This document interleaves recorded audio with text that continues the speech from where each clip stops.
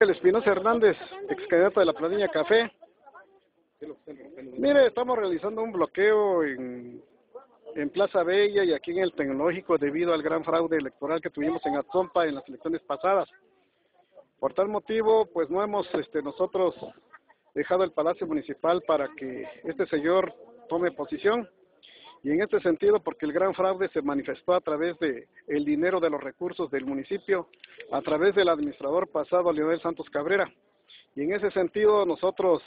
estamos, impugnamos la, la elección, nos inconformamos y jamás nos llamaron a, a poder tener una mesa de diálogo.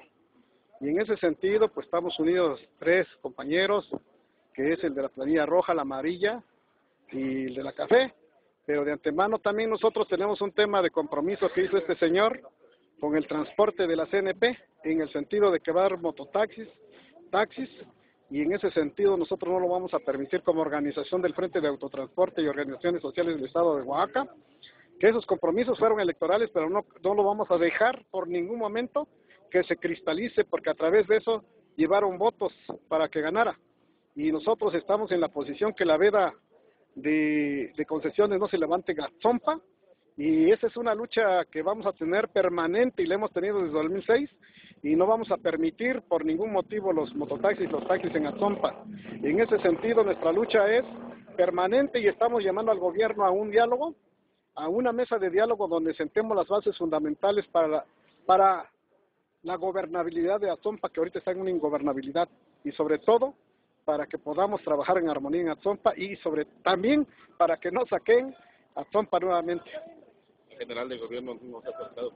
Bueno, en este momento consideramos que no porque, bueno, ahorita en el caso de este lado no, no, no ha habido ningún llamado, yo creo que no tardará en hacernos el llamado a las personas encargadas de ver estos temas electorales.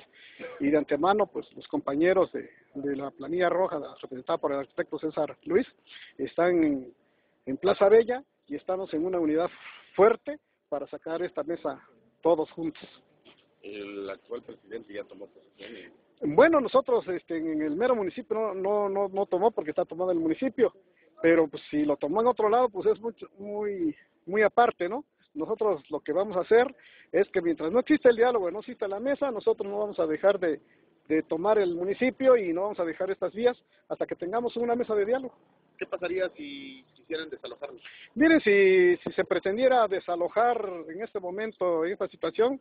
traemos el aval del Frente de Autotransporte y del Estado de Oaxaca, empezarán los bloqueos en, en Zacatepe, en Putla, en Fuslahuaca, en Juquila, y bueno, llamaríamos a los compañeros de Valles Centrales porque ahorita está puro Atompa. Tenemos a la gente de Etla, la gente de San Bartolo Albarradas,